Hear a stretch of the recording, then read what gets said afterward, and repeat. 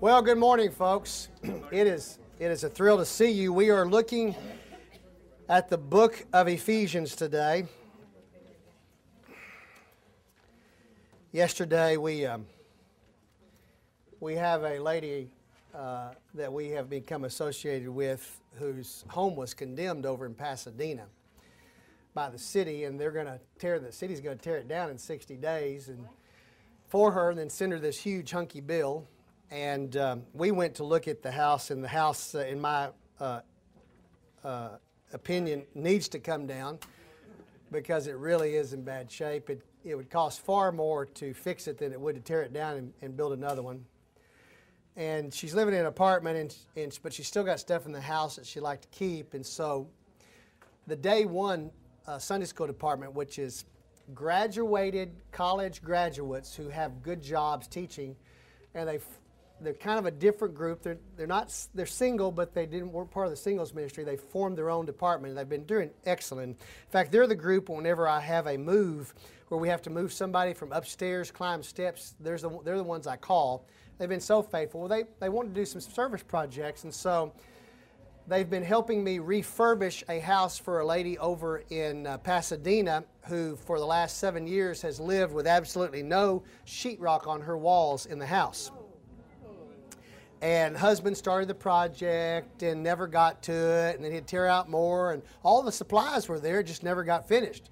and then the husband's left the family, and so I've been teaching them how to hang sheetrock and how to float and tape. Let me tell you, some of these girls are good. They can flat hang that sheetrock and float and tape and build stud walls. And so I asked them to go over and help me. We went over and started a, an 8 by 16 shed, full height, 8 foot wall shed over so that this lady could put store stuff in until the house came down. And in a couple of weeks, the house is going to come down. And, and then we're hoping to uh, help her get situated in a little different situation. But the shed is built on skids, so we can move it when they don't need it, and it's a nice little investment. Well, we had all these um, girls over there, young women who are teachers and all that type of stuff, and boy, they started off good. Eight o'clock, we didn't do anything with power tools except for a power saw. Everything else was done by hand, no nail guns, so it'd be safe. And off they went. Bam, bam, bam, bam, bam, bam, bam, bam, bam, bam, bam. At 11:15, I noticed the girls were, bam. Bam.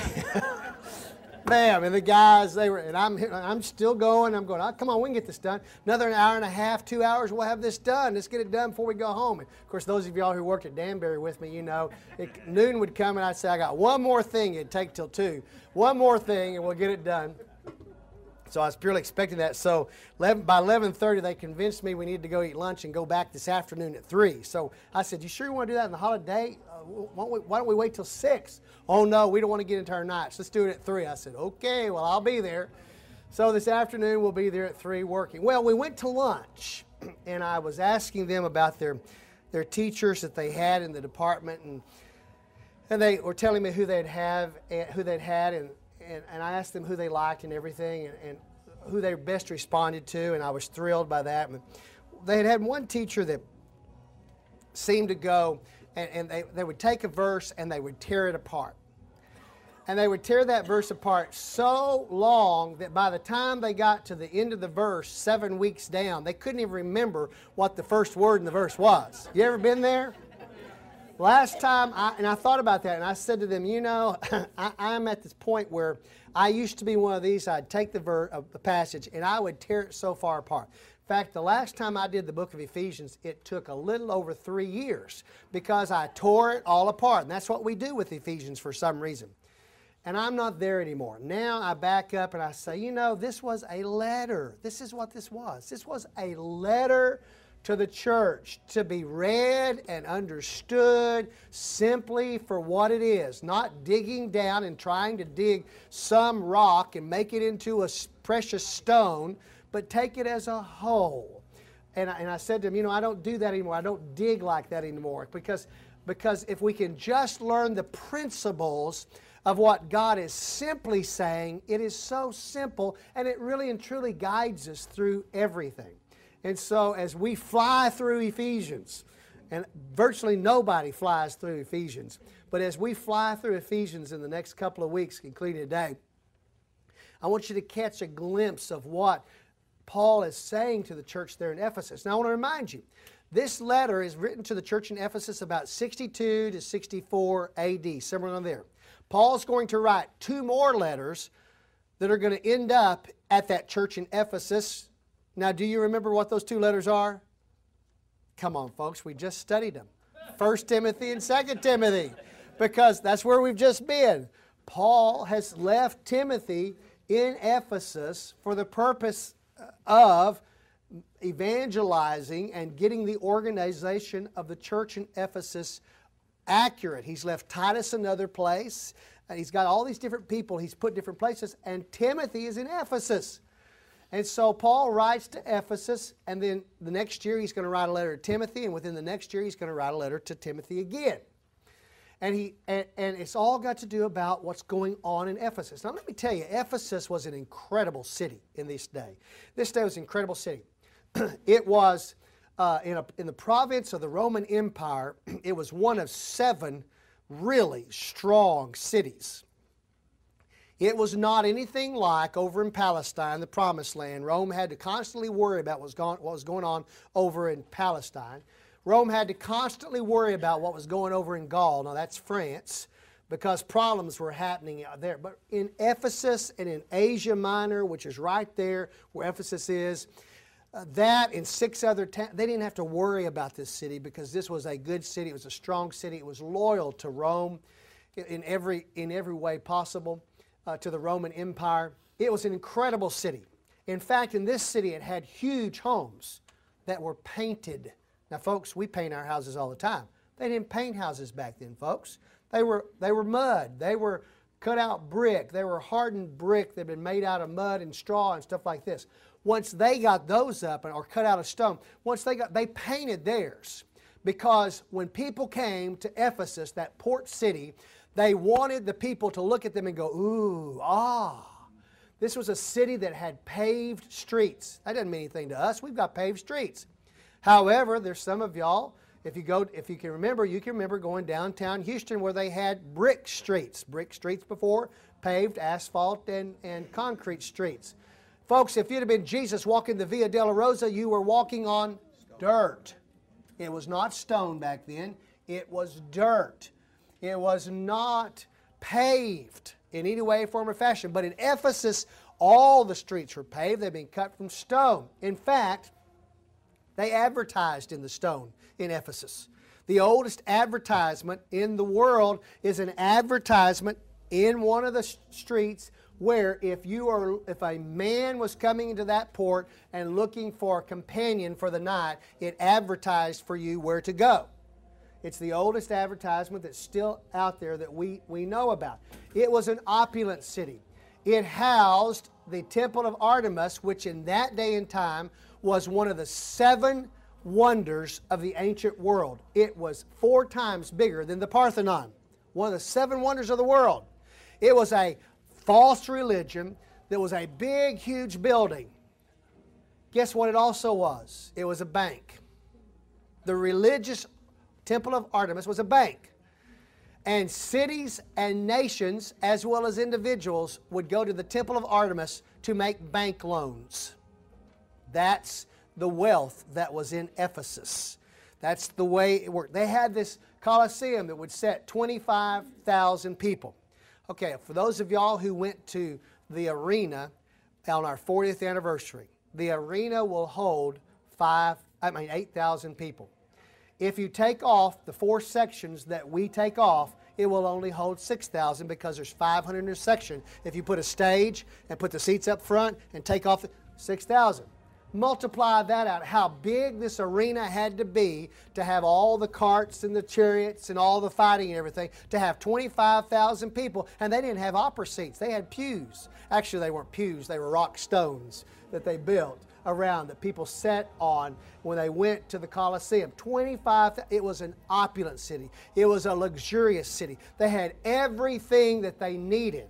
They had the best medical care. They had the best food. They had the best supplies. They had the best furniture. They had the best of everything. And in this city, Paul, on one of his missionary journeys, which we found in Acts chapter 19, he starts a church there in Ephesus in the home of, once again, our favorite church planting household, Prisca or Priscilla and Aquila, who started also the church in Rome in their home.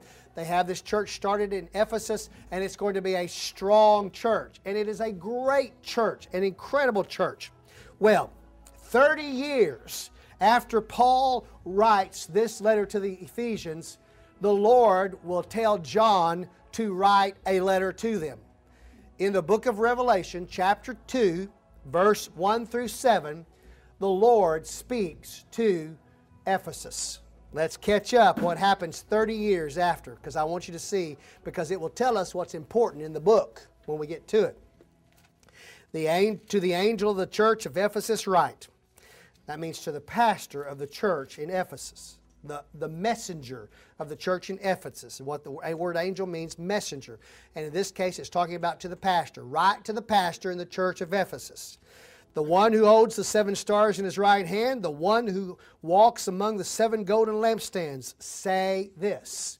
In other words, the Lord who holds, who walks among the seven lampstands, who holds the seven stars in his right, that's the Lord. He's going to say this. And if you if you were reading this in your red letter edition, what I'm fixing to read to you would be in red. Verse 2. I know your deeds and your toils and perseverance, and that you cannot endure evil men. And you put to the test those who call themselves apostles, and they are not, and you found them to be false. And you have perseverance and have endured for my name's sake, and have not grown weary. Up to that point, we're a 30 year old plus church in Ephesus and we have kept to the task. We've made sure no false preachers have come in, no false teachers have come in. We have persevered, we have toiled, we have been a church, and we've kept being a church, the institution of a church, probably because of what he's fixing to say. Verse 4 But I have this against you. Ooh, that's something you don't want the Lord to write for eternity in a Bible about you. I would hate for the Lord to say to Sagemont, but there's one thing that I have against you. Ooh. Think about that. Think about what that would mean. And he says it here. He says, But I have one thing, I have a, this against you, that you have left your first love. They've left their first love. What was that first love? We don't know here, but we're fixing to find out when we get to the book because it's going to tell us what their love is. Verse 5 says, Remember therefore from where you have fallen You've fallen from your first love and whatever it was about that first love. You've fallen for that. And repent and do the deeds you did at first. In other words, get back to doing what you did at first when you were a church 30 something years ago. Now, we just know that because we know when the book of Revelation was written. We just know that. He's saying, get back to where you were when you started. Do the deeds you did at first, or else I'm coming to you and will remove your lampstand out of this place. In other words, I'm going to remove the corporate body of the church from this place in Ephesus. That's what the lampstand, that's the churches. That's the lampstand. Going to remove that from that place unless you repent. We can read on. History tells us, do you know what happens? Evidently, they did not repent. They did not return to their first love. They did not start doing what they had done at the first to become a great church. And even though they had persevered and toiled, that lampstand, the church, is there no longer. Interesting side note here. The church that was established on the island of Malta, where Paul shipwrecked, is still a church to this day. One of the oldest standing churches, besides the church that Priscilla and Aquila started in Rome that has now become the Vatican and all that type of stuff, okay? But so we have that church in Malta that is still there all these days, all these 2,000 years.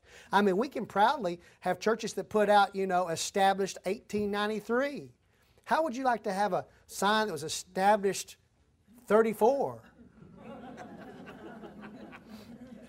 34, you know, ought 34. Okay, which ought 34? Church in Malta can do that. 37, 38, wherever it was. Paul says, Look, get back to it. You've lost your first love. The book of Ephesians is important because uh, what it's, what's going to say to us is that the church is not an institution. It's not a bank. It's not a place to go make loans. It's not an institution to be part of. It is a, in fact, it's not even a building, folks. Folks, Sagemont Church could say, if we want to bring it home to this, we could say, guess what? It is time for us to move. And we could pick up bags and we can move eight, eight uh, miles down the road, and Sagemont Church would be there. The buildings would be here. The buildings are not the church, folks. You're the church. But in that day and time in religious worship, outside of Christianity and false religions, the church, the religion was the building and where it was.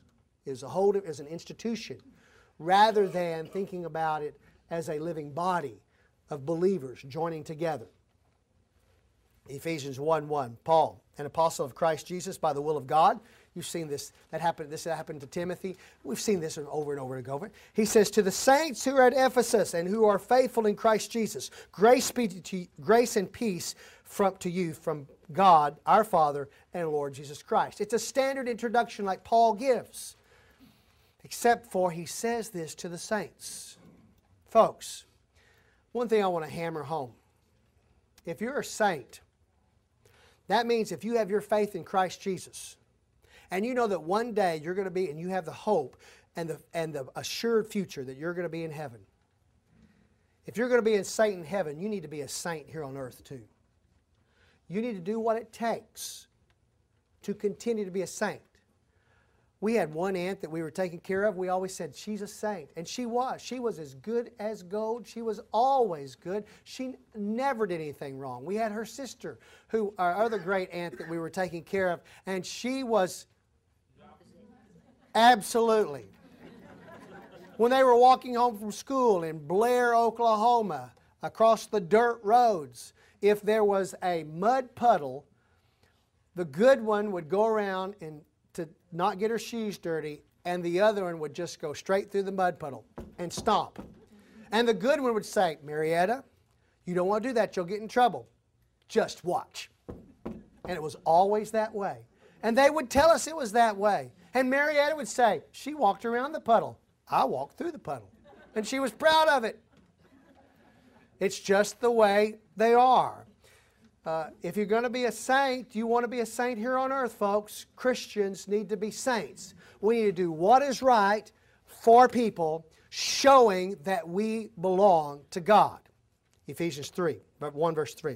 Blessed be the God and Father of our Lord Jesus Christ, who has blessed us with every spiritual blessing in the heavenly places in Christ, just as He chose us in Him from before the foundation of the world that we should be the holy and blameless before Him. In love, He predestined us to adoption as sons through Jesus Christ to Himself, according to the kind intention of His will, to the praise and the glory of His grace, which He freely bestowed on us in the Beloved. Time out. What does that mean? What an incredible thing it is to have the hope of a spiritual and a heavenly blessing. Just don't make anything more of this than what it is. Those of us